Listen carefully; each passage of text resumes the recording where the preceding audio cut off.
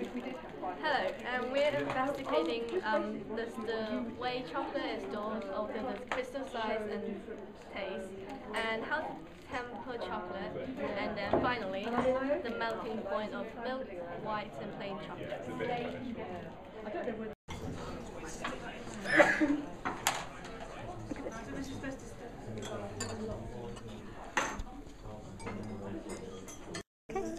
Let's have a.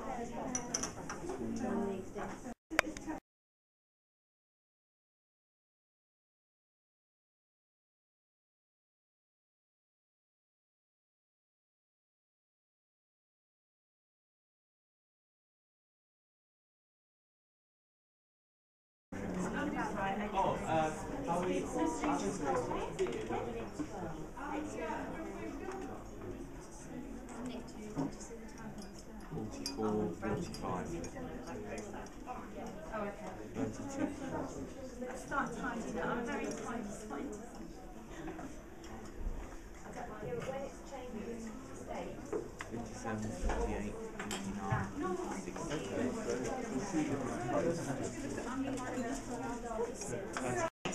Uh, I'm looking at these pictures of chocolate under a microscope and trying to answer some questions about how the size of the crystals, which the things, There's no small here. here since like um, how that affects the taste of the chocolate. so you can do. I found that the So smaller crystals unless mean that the chocolate tastes nicer and creamier, and if they're bigger crystals, then it's more gritty. Yeah. Thank you very much. Ten. 10. Right. Using the data on this piece of paper, I found out um, that chocolate tastes best when it has small crystals. This is a sample of fresh chocolate, and as you can see, the peaks are all very small, and there's hardly any large peaks. Whereas with say this one, there's a lot of large peaks, and so the, the sheet of data says that it doesn't taste as nice. Ah, why does the sheet of data say it doesn't taste as nice? Well, this is a 20 degrees Celsius um, sample, and if you read the um, column for taste, texture, and flavour, it says it's buttery and gritty, and the flavour doesn't linger on the palate. Ah, okay. And the pattern with the using these is that the chocolate with the bigger crystals, such as this one, this one, and this one, has um, a taste which is not as nice, whereas the ones with the smaller crystals taste creamier and um, stronger. Oh, fantastic. And um, the smaller crystals form on chocolate which is um, stored at room temperature. If you store it at other temperatures, then the crystals become bigger. So s- this is um, chocolate which was stored in the fridge um, at about 4 Celsius, and these large crystals have formed. This was probably stored in a warm place because that was at 31 Celsius, and larger crystals have formed. And this one was probably stored in a freezer at minus 20, and large crystals have formed. Yeah. Um, well, mayonnaise out there. And the ones which have these spiky crystals, so this sample and this sample, Yeah. also form this white layer called a bloom on the chocolate. Ah, right. Good. Is that everything? We might have filled.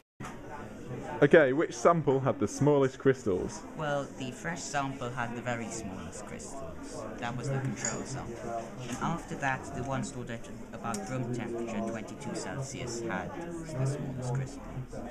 Um, the ones, um, the other ones had larger crystals. Probably the 31 degrees Celsius had the next smallest.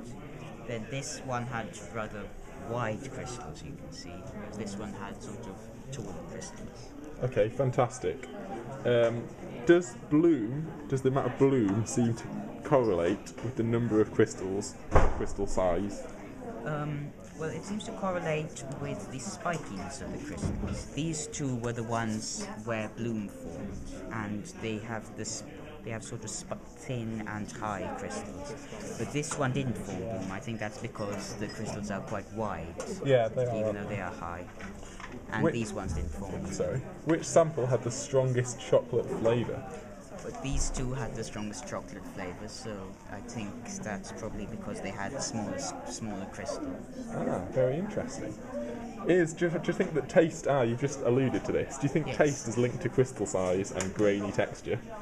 Yes, I think that the smaller the crystals, the stronger the taste of the chocolate, and the less grainy taste of the chocolate, the smoother it is.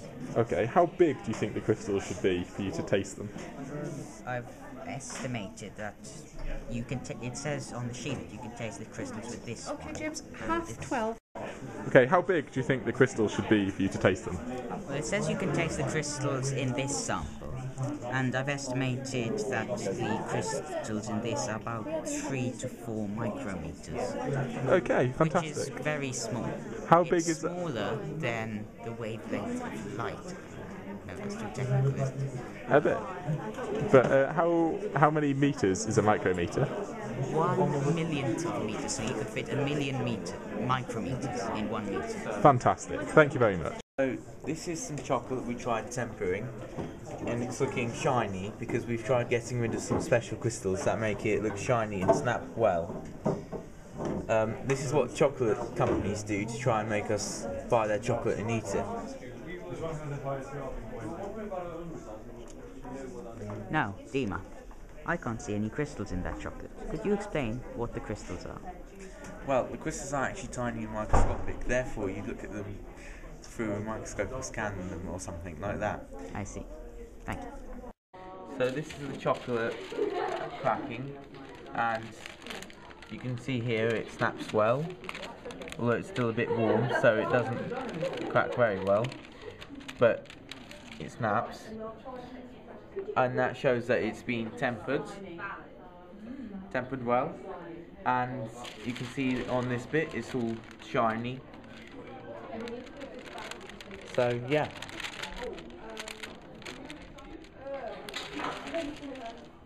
Chocolate and you can see there I've just cracked it you see and there From our graph, we found out that dark chocolate has the highest melting point, followed by white chocolate, then by milk chocolate. Dark chocolate has the melting point of 47 degrees Celsius. White chocolate has the melting point of 46.5 degrees Celsius. And the milk chocolate has the melting point of 44 degrees Celsius. We've decided that the melting point of the chocolate is where it levels out from the graph. The milk chocolate took a lot more energy to start melting. It increased from 37 to 47 degrees centigrade, and then it decreased to um, something and reached the melting point. The dark chocolate's temperature increased steadily at the start to 42 degrees Celsius, and then it took less heat energy to continue, then finally reaching the mountain. Finally, the white chocolate took longer to melt, and also took the longest time to reach its mountain.